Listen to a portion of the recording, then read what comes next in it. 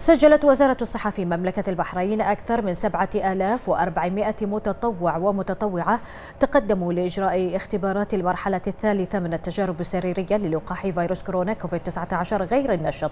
وجددت الوزارة دعوتها لأفراد المجتمع ممن تنطبق عليهم الشروط بالتقدم للمشاركة في عملية التطوع من خلال التوجه مباشرة لمركز التجارب السريرية في مركز البحرين الدولي للمعارض والمؤتمرات.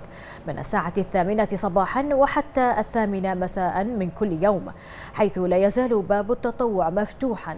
هذا ويأتي الإقبال الكبير نتيجة الوعي المجتمعي والمسؤولية المجتمعية من قبل المتطوعين الذين لبوا الواجب الوطني.